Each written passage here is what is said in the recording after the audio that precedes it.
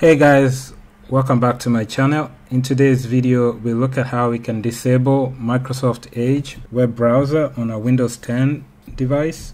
Now, if you you have a Windows 10 device and you don't want to run Microsoft Edge or you, if you don't want it running in the background, you can disable it following these steps.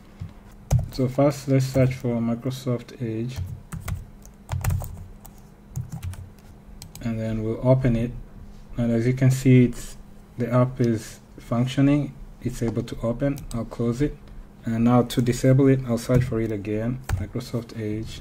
I'll right click on it then I'll click on open file location. In this new window right click on Microsoft Edge again then select properties and here you need to click on open file location again. And on this new window there is a folder with the numbers on it. It's like a version number what we need to do is we need to rename this one. So right click on it and uh, click rename. And I'm gonna add something at the end here.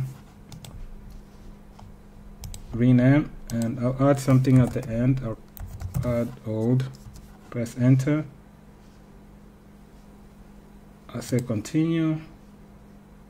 And I'm getting an error here. So it looks like there's a process running from Microsoft Edge. So we need to open the task manager and uh, end the tasks. So we need to open the task manager and end any processes that are associated with the Microsoft Edge.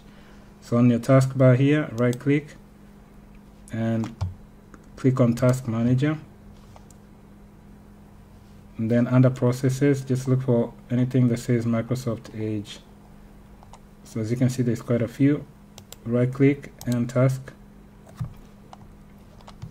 get end task, end task, end task, end task.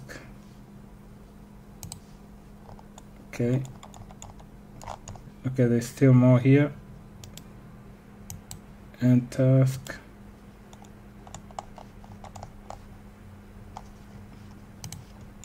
So once we close all the tasks that are associated with Microsoft Edge, we can try this again. So let me close this then I'll try again. And now I'm able to rename it. I'll, now I can close all these windows. And let's open Microsoft Edge again. And try and run it. And now we're not able to run it. Even if we use these shortcuts it shouldn't run. So that's all for this video. That's how you can disable Microsoft Edge on a Windows 10 device. I hope this information has been helpful I'll catch you in my next video. Thanks. Bye.